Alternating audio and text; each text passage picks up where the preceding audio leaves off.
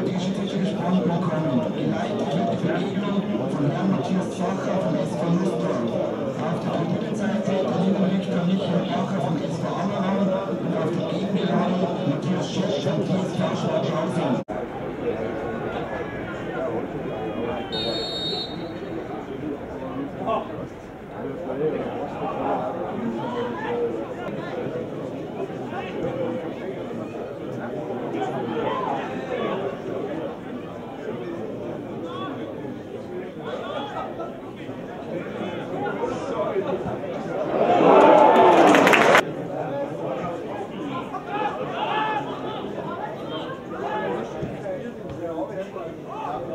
Thank you.